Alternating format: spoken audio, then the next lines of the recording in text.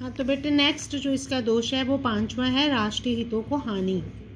Harmful to national interest राजनीतिक दल जो है अपने हितों को सामने रखने का काम करते हैं और उसके लिए वो अपने देश के हितों का बलिदान भी कर देते हैं। वैसे ऐसे काम कर लेते हैं जिससे उनके अपनी जो पार्टी है वो तो काफ़ी विकसित हो जाए, उसका विकास हो जाए, लेकिन देश का नुकसान हो जाए।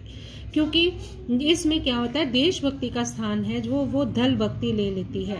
योजनाएँ दल के हितों को सामने रखकर बनाई जाती है, ना कि देश के हितों को। नेक्स्ट है, दल अपनी तानाशाही स्थापित कर लेता है। फिर पार्टी जो है स्टैब्लिश इट्स ओन डिक्टेटरशिप दल प्रणाली में क्या होता है? लोकतंत्री सरकार जो है वो तानाशाही में बदल जाती है और आम चुनावों के समय जिस दल को भी स्पष्ट मतलब स्पष्ट मेजोरिटी क्लियर मेजोरिटी मिल जाती है, वह दल जो है आने वाले चुनावों तक राज्य सत्ता पर अपना कंट्रोल कर लेता है। ठीक है बेटा? तो जब उस दल की स्थिति मज़बूत होती है तो अपनी मर्ज़ी से शासन चलाता है। वह दल जिस प्रकार के भी चाहे कानून बना सकता है, वो आलोचना की बिल्कुल भी परवाह नहीं करता है। नेक्स्ट है, इस तरह से भोले भाले जो लोग होते हैं, उन्हें हम पथ भ्रष्ट कर लेते हैं। राजनीतिक दल क्या करते हैं? अपने हितों को पूरा करने के लिए भोले भाले लोगों को पथ भ्रष्ट मतलब रास्ते से हटा देते हैं।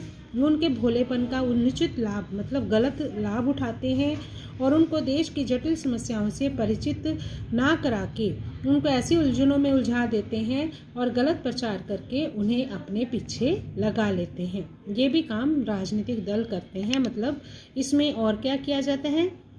जो